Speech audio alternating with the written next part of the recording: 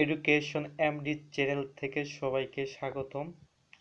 তো মাইক্রো প্রসেসরে আজ প্রথম অধ্যায়।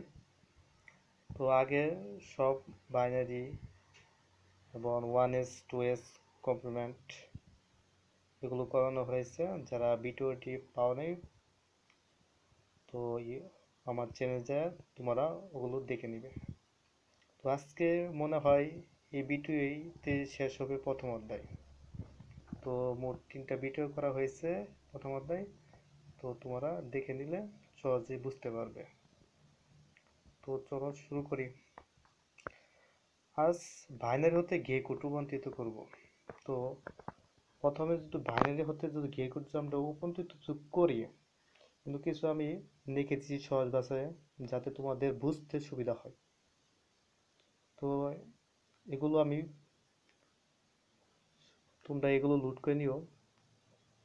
তো আমি বলতেছি বাইনারি হতে গে কোড রূপান্তর করতে হলে বাইনারি সংখ্যাগুলো পাশাপাশি একটার সাথে একটা যোগ করে মানে পাশাপাশি যোগ করে। যেমন জিরোর সাথে ওয়ান এভাবে যোগ করলে হইতেছে ওয়ান এরকমভাবে যোগ করে, ঠিক আছে? যোগফল বাইনারি সংখ্যার নিচে বসবে। যোগফল বাইনারি সংখ্যা নিচে বসবে। কারি থাকলে তা বাদ দিতে হবে। এখানে ওয়ান থাকলে বাদ দিতে হবে। যদি ওয়ান যোগ ওয়ান ইকুয়াল ওয়ান জিরো হয়, তাহলে এখানে ওয়ান বাদ দিতে হবে। এখানে ওয়ান বাদ দিতে হবে, শুধু জিরো বসাতে হবে।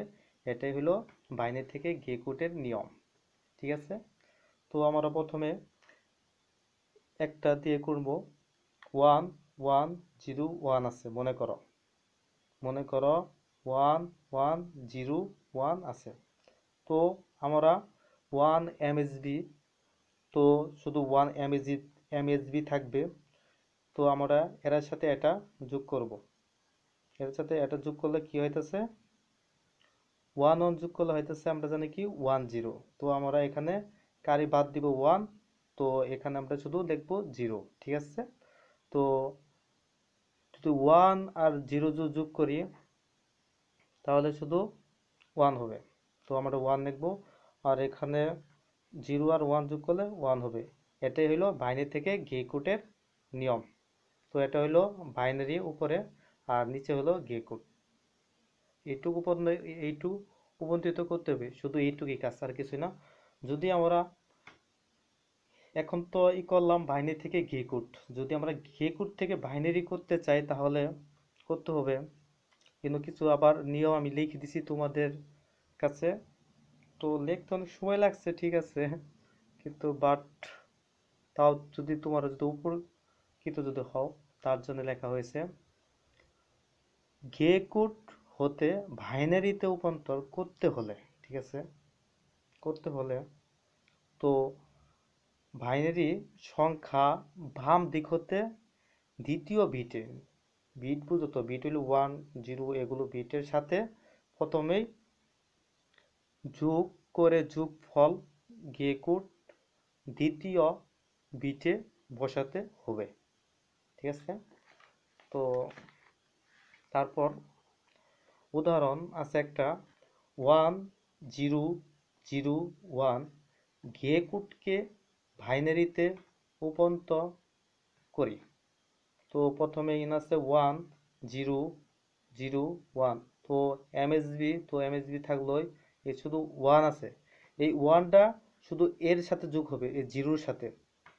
যদি যোগ করি, তাহলে ওয়ান আর জিরো যোগ করলে, তাহলে হইতেছে ওয়ান এই এই আবার ওয়ানের ওয়ানটা এই জিরোর সাথে যোগ হবে। তো যদি যোগ হয় ওয়ান আর জিরো যদি যোগ হয়, তাহলে তাহলে হইতেছে ওয়ান তো ওয়ান আর ওয়ান যোগ করলে হইতেছে আমরা জানি ওয়ান জিরো তো এখানে কারি বাদ যাবে, কারি ওয়ান বাদ যাবে, শুধু জিরো বসাতে হবে। এটাই হলো গে কোড থেকে বাইনারি এটাই অ্যান্সার আর কিছু না এইটুকুই। তো এরও কিছু প্রশ্ন আছে ইম্পর্টেন্ট যেমন ডিজিটাল ইলেকট্রনিক্স বলতে কি বোঝায়?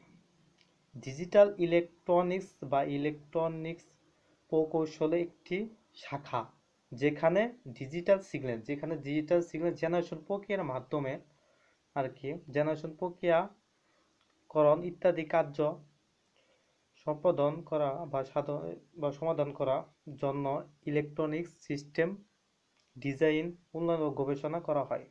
আবার কোড কাকে বলে? এখানে কোড আছে। তো কোড একটি নন ওয়েটেড বাইনারি কোড যাতে অনুক্রমিক সংখ্যা পরিবর্তন, একটিমাত্র বিট পরিবর্তন হয়, একটিমাত্র বিট পরিবর্তন হয় তাকেই কোড বলে। এটি অ্যানালগ টু ডিজিটাল কনভার্টার ব্যবহৃত হয়, এটাকে প্রশ্নতে থাকে। তো হামিং কোড কাকে বলে? তো হামিং কোড যে একটা রচনামূলক আছে, সেই রচনামূলকটা খুবই ভেরি ভেরি ইম্পর্টেন্ট তো এই তারিখে আসার সম্ভাবনা বেশি আছে। তো এটা আমি খুব ভেরি ভেরি ইম্পর্টেন্ট আসবেই, মনে করো, ধরো নব্বই পার্সেন্ট আমি শিওর হামিং কোডটা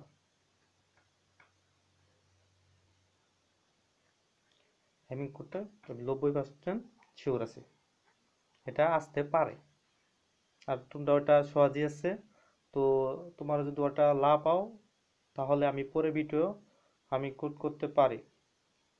কি হ্যামিং কোডটা করতে পারি, তোমাদের পরে ভিডিওতে দেখাইতে পারি। তোমরা যদি কমেন্টে যদি লেখো, তাহলে। তো হ্যামিং কোডটা ভালোভাবে দেখে যাবে। এ তারিখে আসার জন্য, দুই সালে আসার জন্য সম্ভাবনা আছে।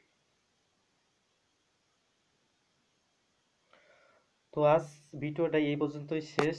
তো আমাদের প্রথম অধ্যায় শেষ হলো। তো ভিডিওটি যদি ভালো লাগে, তাহলে চ্যানেলটিতে অবশ্যই সাবস্ক্রাইব করবেন, লাইক, কমেন্ট, শেয়ার করবেন। এবং যদি উপকৃত হয়ে থাকেন, তাহলে শেয়ার করে অন্য বন্ধুদের সাথে ডিসকাস করবেন। তারপর যদি কোনো কিছু প্রয়োজন হয় বা কোনো কিছু লাগে তো কমেন্ট বক্সে জানাবে জানাবেন। তো মাইক্রো প্রসেসরে তো আমরা সলভ করব। তো সবাই ভালো থাকেন, সুস্থ থাকেন।